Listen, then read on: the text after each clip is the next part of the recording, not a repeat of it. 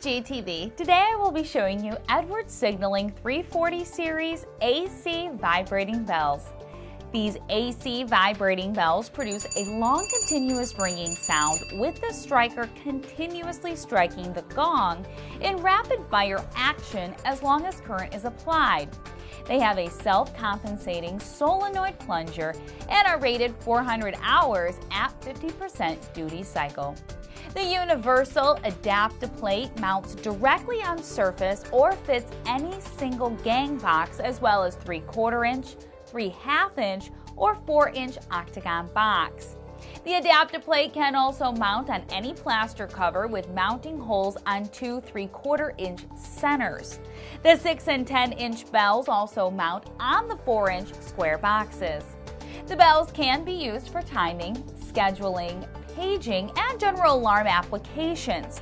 4-inch size bells are recommended for quiet office areas. The 6-inch size bells can be used for more moderate noise level areas such as general factory areas. The 10-inch size bell is for loud areas such as heavy machine shops. All bells are available with full cast grids and protective grills. They have shockproof die-cast housing and are UL 464 listed, FM listed, and CSFM certified. The units are dust-proof and have an epoxy finish that is corrosion resistant.